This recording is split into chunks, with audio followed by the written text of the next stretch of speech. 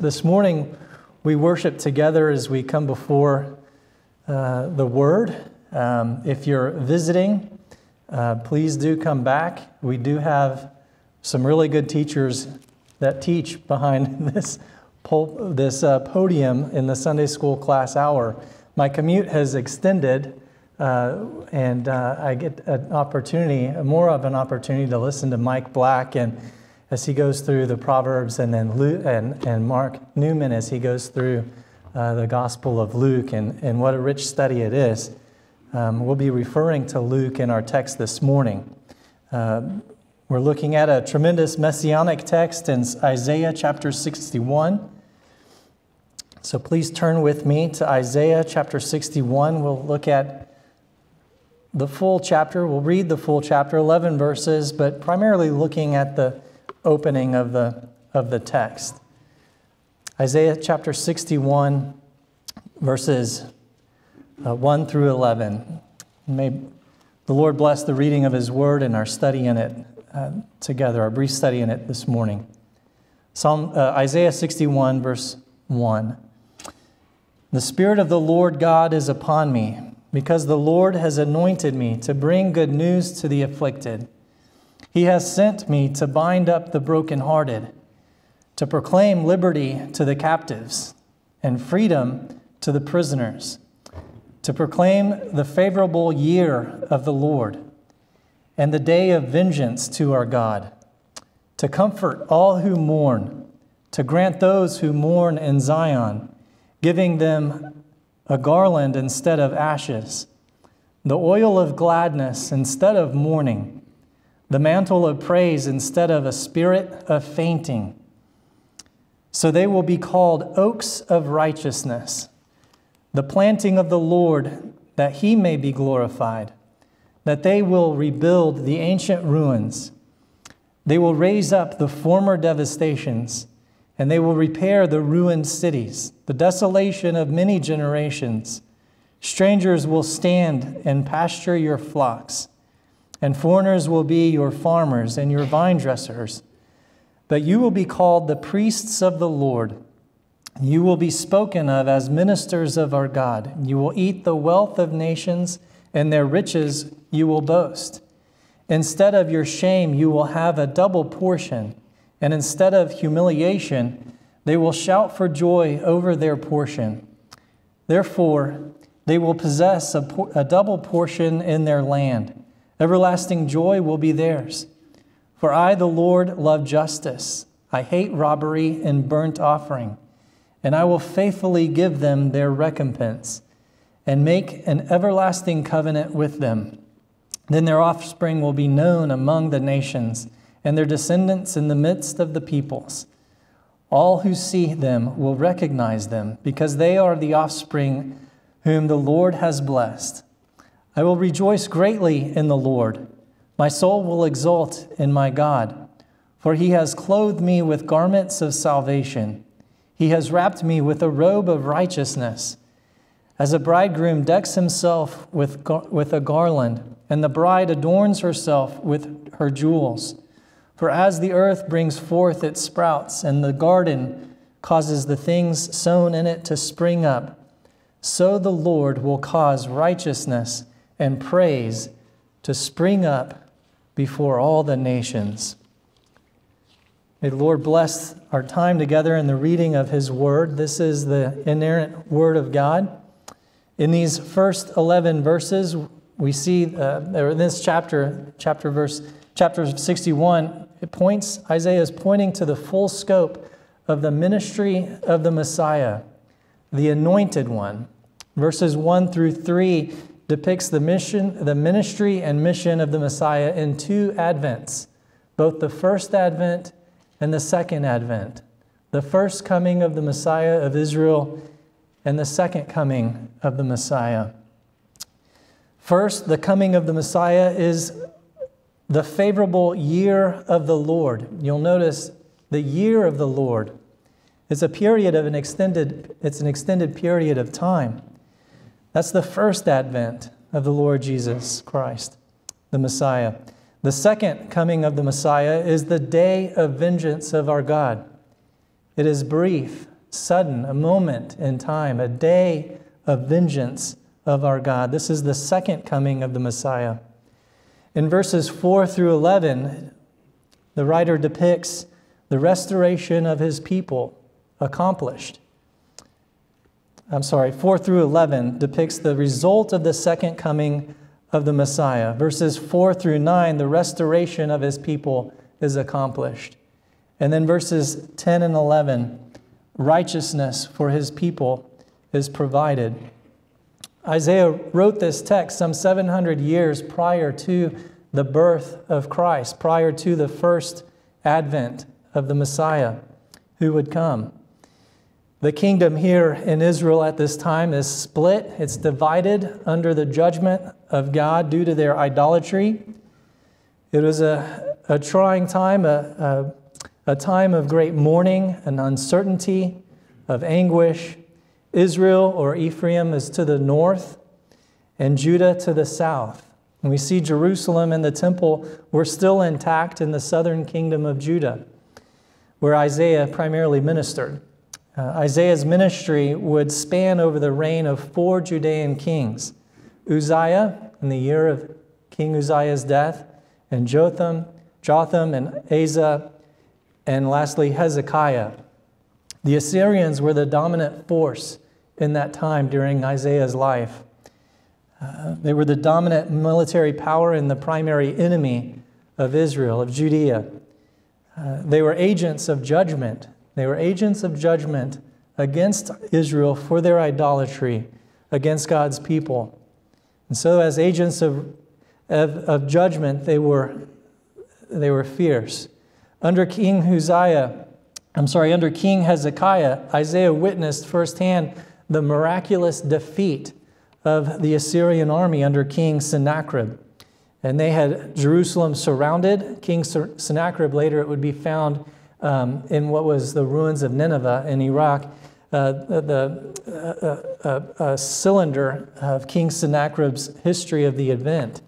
He said he had King Hezekiah shut in his royal city like a bird in a cage, surrounded. And yet the Lord delivered Jerusalem in a single night. Uh, King Hezekiah went to pray at the temple. He sought counsel with, uh, with Isaiah. And the Lord answered and delivered Jerusalem in a single night. They woke up in the morning and they found Sennacherib's army slain 180,000 dead, conquered, perished by the Spirit of the Lord, the angel of the Lord. And though they held them captive for a moment, they were vanquished. The enemy was vanquished. They had them surrounded and held captive like a bird in the cage, and yet the Lord God delivered them without a single arrow being fired, without any of man's efforts. It was the work of the Lord.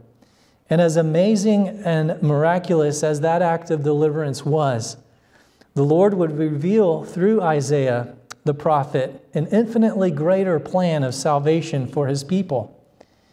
To deliver his people who were held captive by an infinitely greater enemy than King Sennacherib or the Assyrian army. It was the enemy of sin that held natural man captive. And he would be sent, he would send the servant of the Lord to set them free, to establish an eternal kingdom. And all through the person and work of the chosen servant of the Lord. And our text begins with that The Spirit of the Lord is upon me because the, Lord, uh, because the Lord anointed me to bring good news to the humble, he has sent me to bind up the brokenhearted, to proclaim release to the captives and freedom to the prisoners. In Acts chapter 8, the Ethiopian eunuch is reading Isaiah chapter 53. Philip runs alongside him, is sent alongside him, and the Ethiopian eunuch asks this important question. Please tell me, of whom does this prophet say this? Of himself or of someone else? We could ask the same question in Isaiah chapter 61. Of whom does the prophet say this? Is it himself, Isaiah, or is it someone else? Previously, Isaiah spoke of someone else, King Cyrus of Persia, who would redeem or release the prisoners of Israel free from the captivity of Babylon yet to come. Could it be him?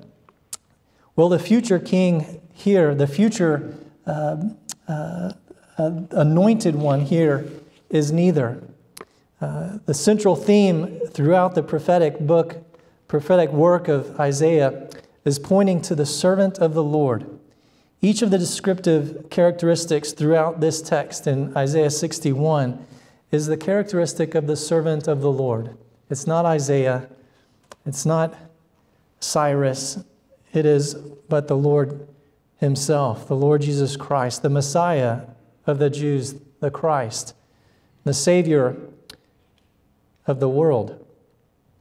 Isaiah 42, verse 1, speaks of this Behold, my servant, whom I uphold, my chosen one, in whom my soul delights. I have put my spirit upon him, and I will be, bring forth justice to the nations. Isaiah 49, verse 6, he says, It is too small a thing that you should be my servant to raise up the tribes of Jacob and to restore the preserved ones of Israel. I will also make you a light to the nations, so that my salvation may reach to the ends of the earth. Isaiah 53, verse 11. As a result of the anguish of, my, of his soul, he will see it and be satisfied. By his knowledge, the righteous one, my servant, will justify the many, as he will bear their iniquities. The work of the servant of the Lord, the ultimate work of the servant of the Lord, would bring restoration that we just read about justice, salvation, and justification for God's people. Not only the people of Israel not only the chosen of Israel, but to all the nations. This is the Messiah of Israel, the Savior of the world. The word Messiah is the Hebrew for anointed one or chosen one.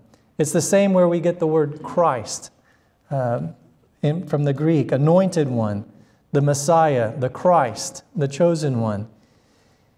In 1 Samuel chapter 16, we, we, you'll remember a picture of this. It's beautifully pictured in the anointing of King David when Samuel goes down to Bethlehem to see who it is that God has chosen to replace Saul as king. The Lord has told Samuel it will be one of the sons of Jesse, but Samuel does not yet know which son specifically it will be. You'll remember that David is left, he's the youngest of the brothers, and is left in the fields, not even in consideration uh, to be this anointed one, the chosen one to replace Saul as king. They first bring out, um, well, before going, Samuel is told, the Lord tells Samuel to fill his horn with oil and to go. And off he goes. Samuel brings his sons, Jesse brings his sons to Samuel and leaves David, the youngest, in the fields tending the sheep. The oldest is Eliab. He's brought forward. No doubt he's the strongest, he's the biggest. Um, he's one that all would consider, surely this is he. He's brought before Samuel, and Samuel thought those words exactly. Surely this is the Lord's anointed. But the Lord tells Samuel something. He says, Do not look at his appearance or at the height of his stature, because I have rejected him. For God sees not as man sees. For man looks at the outward appearance, but the Lord looks at the heart. And one by one, the brothers were brought before him, before Samuel. And as each one passes by, each one it is repeated, the Lord has not chosen this one either. The Lord has not chosen this one either. And Jesse runs out of sons and is forced to admit there's one more. There's one more son. I have one more son in the fields no one would have expected. In 1 Samuel 16, verse 13, the Lord said, Arise of David, anoint him, for this is he. Then Samuel took the horn of the oil and anointed him in the midst of his brothers. That's significant. He anointed him in the midst of his brothers. And the Spirit of the Lord came mightily upon David from that day forward. It was a public display of God's choosing of this anointed one in King David. He was very much a type of the Messiah, the anointed one of God, the chosen one of God, who is infinitely greater than King David. And in public display, we would see this picture that characterized David at this time in the suffering servant of our Lord. Isaiah characterized this servant of the Lord in Isaiah chapter 53, verse 2. This servant of the Lord, the suffering servant of the Lord, for he grew up before him like a tender shoot, like a root out of the parched ground, and no, he has no stately form or majesty, that we should look upon him, nor appearance, that we should be attracted to him. We see that in the ministry of the Lord. Nothing in his outward appearance appealed to the nature of fallen man or of Israel. Um, they were not what, he, what they were expecting. He was not what they were expecting. But he was the anointed one of God. But here you'll notice in verse in chapter 61, the anointed one of God was not anointed with oil, but rather with the Spirit of the Lord. The Spirit of the Lord God is upon me, because the Lord has anointed me. The Spirit of the Lord God is upon the anointed one. If you have a study Bible, you'll notice perhaps a note in there that says the three persons of the Holy Trinity function together in this verse.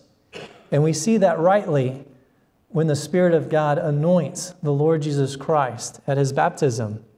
We see it fulfilled in public, in his public display of baptism in Luke chapter 3, verse 22 and 21 and 22. The Holy Spirit descended upon him in a bodily form like a dove, and the voice came out of heaven You are my beloved Son, in whom I am well pleased.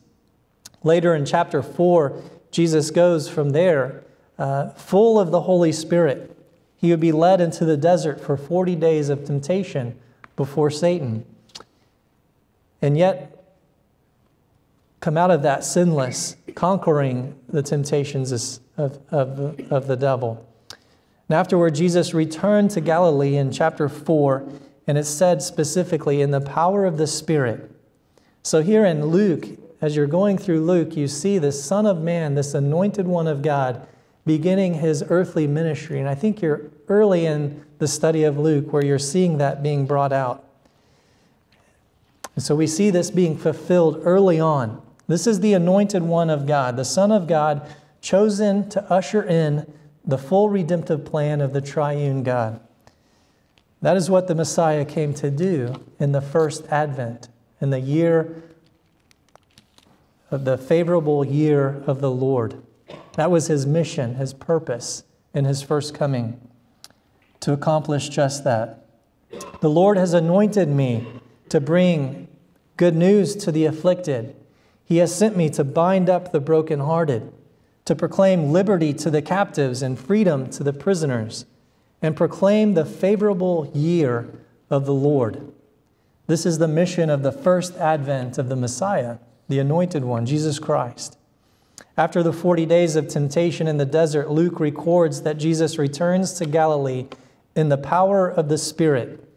In Luke 4 14 through 15, the news about him spread throughout the surrounding districts, and he began teaching in their synagogues and was praised by all. Turn with me now to Luke chapter 4, and we get to where this text is fulfilled. In Luke chapter 4,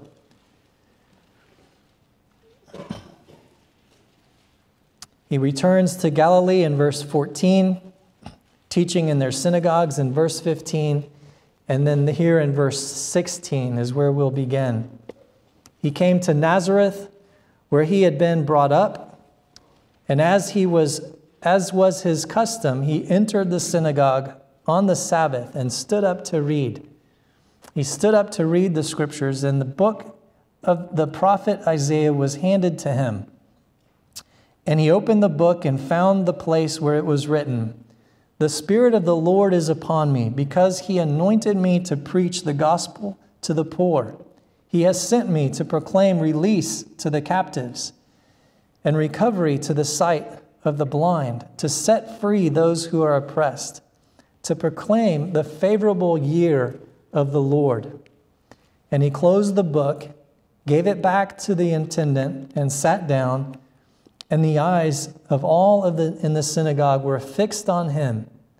And he began to say to them, Today this scripture has been fulfilled in your hearing.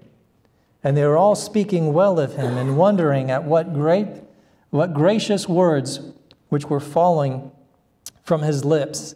And they were saying, Is this not the son of Joseph? Is this not Joseph's son?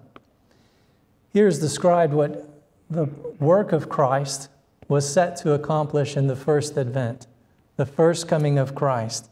He was to bring good news to the humble, to set uh, to, uh, he has sent me to bind up the brokenhearted, to proclaim the release to captives and freedom to prisoners. He anointed me to preach the gospel to the poor, to proclaim release to the captives, to proclaim recovery of the sight of the blind, to set free those who are oppressed, and proclaim the favorable year of our Lord. This was the mission of Christ. And he would go on from there and do just that in the preceding chapters, all throughout Luke. In Luke chapter 4, verse 31, he would go to Capernaum. And from there, by the power of the, his word alone, he set the man imprisoned by demon possession in bondage to the powers of the darkness. He set him free by the power of his word. In verse 38, we see Jesus would heal Peter's mother in law. In chapter 5, Jesus heals the man afflicted with leprosy. In 5 6, 17, he heals the paralytic man. He would then go on to give sight to the blind and even raise the dead to life. Over and over and over, we see the miraculous works, the physical works of the Messiah, full of grace and truth and power of God. And it, it is said that in John, John's gospel, it said that um, if he were to write everything that was written of what Jesus did, all the books in the world, he supposed, could not contain it. That's how much work uh, the Lord Jesus Christ performed in Israel during the first advent. It is said that there was never a time in, his, in the history of the world in which a single nation was more healthy, and was healthier than the time of the end of Jesus' first advent. Countless many had been healed of their physical infirmities during the course of Jesus' earthly ministry.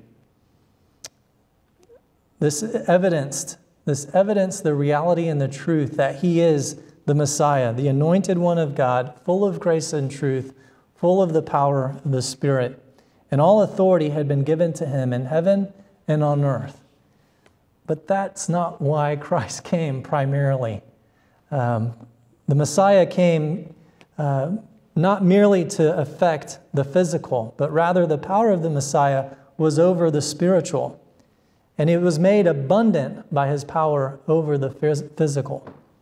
To the Pharisees, he would say in Luke chapter 35, in chapter 5, verse 31, it is not those who are well that need a physician, but those who are sick. And he would continue, I have come, I have not come to call the righteous, or rather the self righteous, which were the Pharisees, but the sinners to repentance. The problem was the infirmity of sin and the need for salvation for that. It was a spiritual need. To Zacchaeus, he would write and he would say in Luke chapter 19, for the Son of Man has come to seek and to save that which was lost, those who were lost. The great enemy of fallen man is not leprosy, it's not COVID 19, it's not sickness or death. The great enemy of our time is sin and the wages of sin, our own personal, individual sin before a holy and righteous God. And this is why God, Christ the Messiah, came to display these works, because it was to display in the presence of the people his power over sin. In Matthew 9, when he heals the paralytic man, he doesn't begin with the healing, but rather he says, Your sins are forgiven. And the Pharisees complained, Who are you to forgive sins? And he responds, Which is easier to say, Your sins are forgiven, or get up and walk? But so that you may know the Son of Man has authority on earth to forgive sins. And then he said to the paralytic man, Get up, pick up your pallet, and go home. And the paralytic man, he got up and went home. But the, when the crowds saw this, they were all struck and glorified God who had given such authority to man. This is the authority of the anointed one of Israel, of Isaiah chapter 61. This is what he preached uh, Blessed are the poor in spirit, for theirs is the kingdom of heaven. Blessed are those who mourn, for they shall be comforted. Mourn over their sin. Blessed are those who are poor in spirit, who are bankrupt in their spirit because of the weight of sin. Blessed are those who mourn over sin, for they shall be comforted. Blessed are those who hunger and thirst, not for physical uh, healing, not for physical luxuries, but blessed are those who hunger and thirst for righteousness, for they shall be satisfied.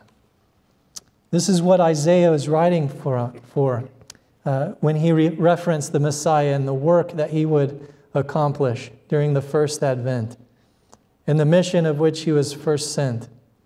And this also typified Isaiah as well. He was one who was brokenhearted, who mourned, was poor in spirit. You remember when he's displayed before the holiness of God, he falls and he cries out. When confronted with the pure holiness of God, he cries out, Woe is me, for I am ruined, because I am a man of unclean lips, and I live among a people of unclean lips. For my eyes have seen the King and the Lord of hosts. These are his sheep.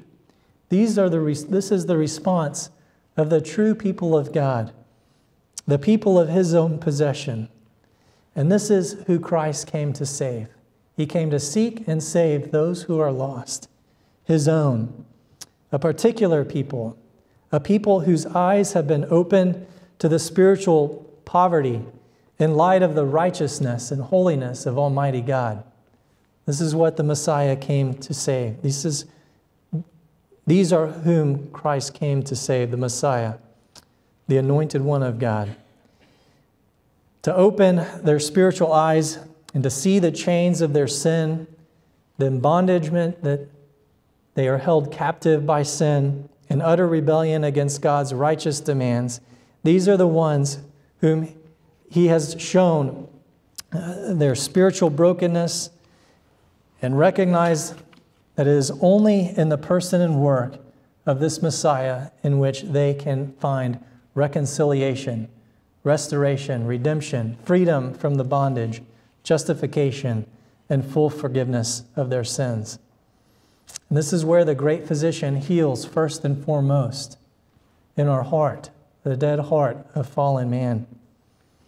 The anointed servant of the Lord accomplished that work by first becoming the servant, the suffering servant of our Lord. In Isaiah 53, he was pierced through for our transgressions, he was crushed for our iniquities. The chastening of our well being fell upon him and by his scourging we are healed.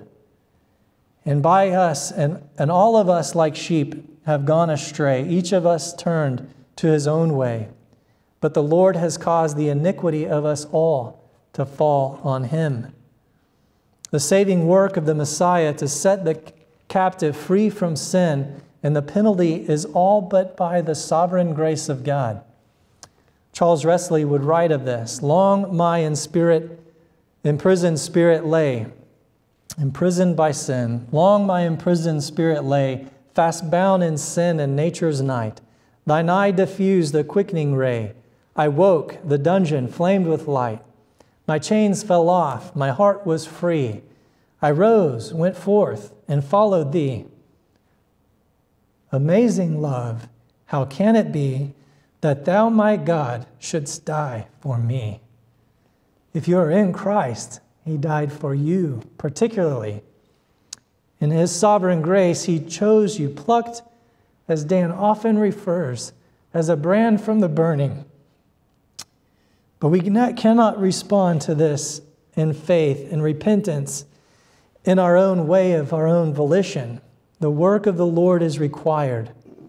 That I, the fuse, the quickening ray, I woke, the dungeon flamed with light. My chains fell off, my heart was free. I rose, went forth, and followed thee. This is all but by God's sovereign grace.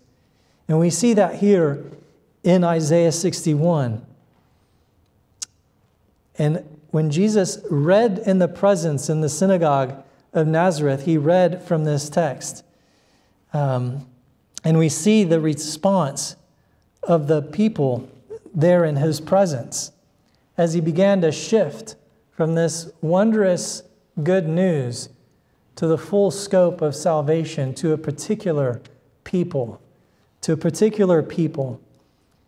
And the crowd responds. Look at their response in the sovereignty of God and his work and elective grace. Luke chapter 4, verse 23, he picks up, or in 22, they pick up, Is this not the son of Joseph's son? Jesus didn't leave it with them happy and feeling good about themselves. He struck to the heart and he began to speak. And he said to them and expounded even further No doubt you will quote this proverb to me Physician, heal yourself. Whatever we heard was done at Capernaum, do here in your hometown as well. The people there were merely focused on the physical, the immediate. They wanted a Messiah that would give them freedom in the temporal, but not freedom against their sin and bondage to it, for they loved it. And he said, Truly I say to you, no prophet is welcome in his own town, in his own hometown, but I say to you in truth, there are many widows in Israel in this day, in the days of Elijah when the sky shut up for three years and six months, when the great famine came over all the land. And yet Elijah was sent to none of them, but only to Zarephath in the land of Zidon, Sidon, to the woman who was a widow, to a woman who was a widow. And there were many lepers in Israel at the time of Elisha the prophet and none of them were cleansed, only Naaman the Syrian. And all the people in the synagogue were filled with rage at hearing this. They were filled with rage as they heard these things. And they got up and drove him out of the city and led him to, brow, to the brow of the hill on which their city had been built in order to throw him down off the cliff, down the cliff. But passing through their midst, he went his way. It was not his time. We cannot respond to the message of God's sovereign grace by our own volition. This is our reaction, but by God's grace. We are the same. Men are intrigued of the person and work of Christ. We make movies of him. We talk of him. He's a historical figure. We talk of him as a great teacher, perhaps, uh, even a godly man. But natural man will not bow the knee by their own division, by their own volition. It requires the work of sovereign grace to do just that. All the surrounding districts had heard of the power of the Spirit in the Lord Jesus Christ. The expectation they had were merely outward expectations of outward benefits, of temporal freedom, uh, an earthly king that would reign before them. They were worldly minded. They were worldly minded, in their heart was far from God. And Jesus exposed their rebellion and enmity with God right away. And this was their response. This is the response of natural man. Their reaction to God's sovereign election is startling, but it's revealing. It's revealing by our own response to this, but by the grace of God. This is you and me, apart from His grace. You'll notice that Jesus' recitation of Psalm 61 in Luke 4 stops midway through verse 2 to proclaim the favorable year of the Lord. When Jesus quoted this passage, he was stating the favorable year of the Lord had arrived. The Messiah has come, the anointed one has come to usher in this age of grace and to perform the work of grace ultimately on the cross, where he would satisfy God's righteous demands. However, the second part of that verse had not yet been fulfilled. And even today, we await that moment. The day of vengeance of our God has not yet come. This is where the anointed one of God, the Messiah, Jesus Christ, will return, not to redeem or to bring an olive branch, for that has already happened, but to judge. He will come and return as a judge of all those who rejected him, who reject him and cling to their sin and rebellion and unbelief. He will come with a sword to judge the enemies of, his, of, of the Lord God and to restore his own and to establish his kingdom forever. Those who reject the Messiah, Jesus Christ, will be found rejected by him. They will be found in their sin and will pay the just penalty for their sin, and the righteous justice of God will be poured out upon them in eternity. That is the justice of God. This is the day of vengeance of our God, which is not which is to come. It is a day like a thief in the night. He will come. It will be swift and immediate. It's not the year of vengeance of our God, but the day of vengeance of our God. This is in his second advent. For those who are in Christ, be found with full of rejoicing and praise. You'll notice at the second advent, rejoicing and full of praise. Israel re- will be restored in the second advent. But also notice that the Lord will cause justice, will, will cause righteousness and praise to spring up before the nations. For the Messiah is our righteousness. He is our only source of praise. He is our righteousness. He is our praise. And because of him, we have been clothed in his righteousness and have cause to praise. If you're here this morning, this should lift your heart as you consider these wonders, this wondrous work of the Lord Jesus Christ. Charles Wesley closes in that great hymn No condemnation now I dread, Jesus and all in him is mine. Alive in him, my living head, and clothed in righteousness divine. Bold I approach the eternal throne and claim the crown through Christ my own. Amazing love, how can it be that thou, my God, shouldst die for me? That is just what the uh, Isaiah writes. If you are trusting in the person and work of Jesus Christ alone for the forgiveness of your sins, what a great cause of praise and rejoicing we have. There is no condemnation in Him. There is no longer any condemnation for your sin. You were once captive, you are set free in Christ. You can boldly say with the text, uh, in the earlier text, in the other earlier verse, um, in verse 10, I will rejoice greatly in my Lord. My soul will exult in my God, for he has clothed me with garments of salvation. He has wrapped me with a robe of righteousness. Christ paid the debt to set the captive free. The debt of sin is paid in full in the person and work of Christ on the cross. And if you are not trusting in the person and work of Jesus Christ, then you stand condemned as you are. As you are, you are condemned in your sin. There is no cloak of righteousness upon you, no robe of righteousness to shield you from the holy righteousness of God and his due wrath. You stand broken in bondage to sin and nature's night, dead in your trespasses and sins, not just spiritually poor, but spiritually bankrupt with no righteousness, no goodness in and of yourself. And so the plea during this time of grace, this year of favor, uh, this age of grace, is to look to Him while there's time. Look to Him.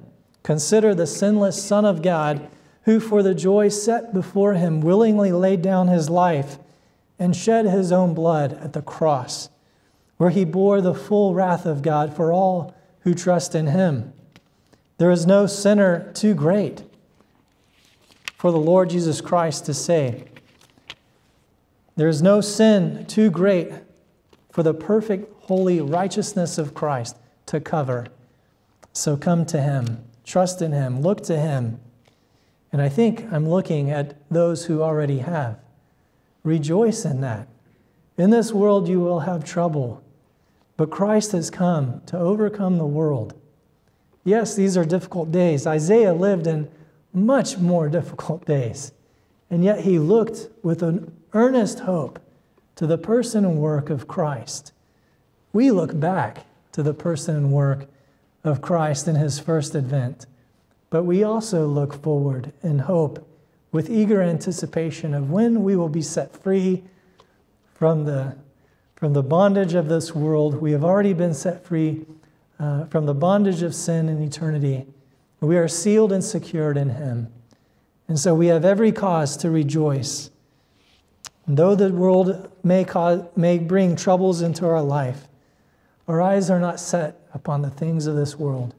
Our eyes are set upon the person and work of Christ. And it's in Him alone that we have hope and freedom and bondage freedom from the bondage of sin. Our chains have fallen, fallen off, have been stripped away. Our sin has been tossed as far as the east is from the west.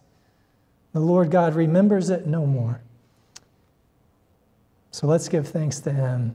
May your eyes be set upon Him, the author and perfecter of our salvation. Let's pray. Dearly Father, we thank you for this brief moment in time today, this, this wonderful time that we can step away from the cares of the world and, and look to your word, study your word, that our eyes would be set and our feet set firmly in Christ, in the person and work of Christ, who is our salvation, the anointed one of you, in whom your favor and righteousness rests. When we see Christ, we see you. We see the living God. And yet, fully man, who identified with sinful men, yet without sin, to give himself as a propitiation, as a wrath bearing, satisfying, atoning uh, atonement due to our sin. And there on the cross, your wrath is fully justified, and we have peace with you. And because of his work, he is ascended above and seated at your right hand. The work is, a, is finished, and he is seated and awaiting the day in which he will return, not only to restore Israel, uh, believing Israel to yourself and bring them to repentance, to, but to bring out from every tongue, tribe, and nation a kingdom before you a great bride presented to him, in which we have the privilege to be a part of. So we thank you. We pray that you would lead us from here, grant us ears to hear, eyes to see as we continue in the second service, looking to your word, uh, which is our strength and hope and our only weapon to combat the world in which we we have through your Holy Spirit. So we pray that you would encourage our hearts, lift us up, and ultimately be glorified in us through your Son. In his name we pray. Amen.